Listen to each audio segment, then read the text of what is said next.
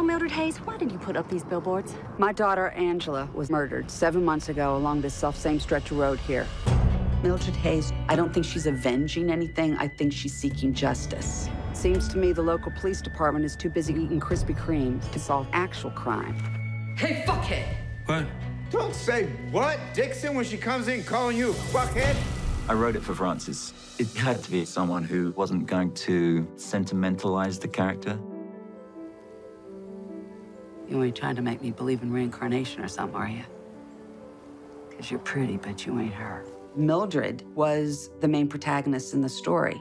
I haven't had many chances to do that as an actor. I've played a lot of supporting roles to mostly male protagonists in my career. But after doing Olive Kitteridge, I have a taste for it, and I don't really want to go back.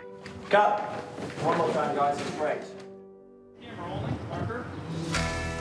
She's without vanity, Fran. She really is in it 100%. Absolutely no bullshit.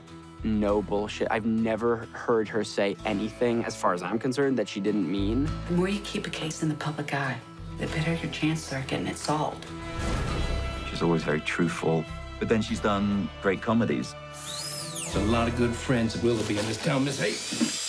I don't think of myself as a comedian. I can find the humor in things, but it's because the humor is important for the arc of the storytelling. For me, it was about playing the truth of a character, and it's the circumstances that make the humor rise.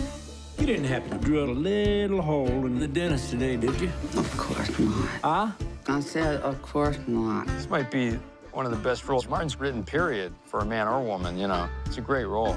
This reporter, for one, hopes this finally puts an end to the strange saga of the three billboards outside. Then put an end to shit, you fucking retard. This is just a fucking start. Why don't you put that on your Good Morning Missouri fucking wake up broadcast, bitch?